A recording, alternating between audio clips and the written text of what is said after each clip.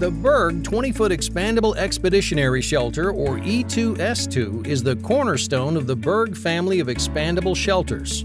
We start every project with SolidWorks modeling to ensure we meet and exceed our customers' expectations. Each unit begins with a rugged steel shipping frame so that the finished unit will be 9-high stackable and meet ISO standards. Next, we weld an aluminum internal frame. Any vents, louvers, or pass-throughs are welded in at this point.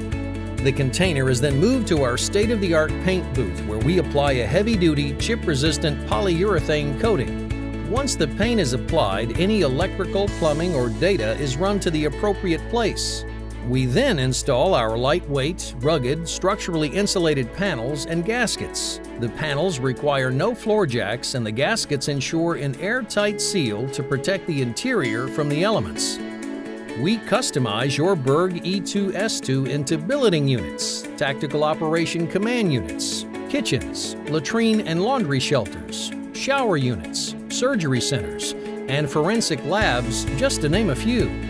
Finally, we perform our final Q&A inspection and make sure the fit and finish is complete.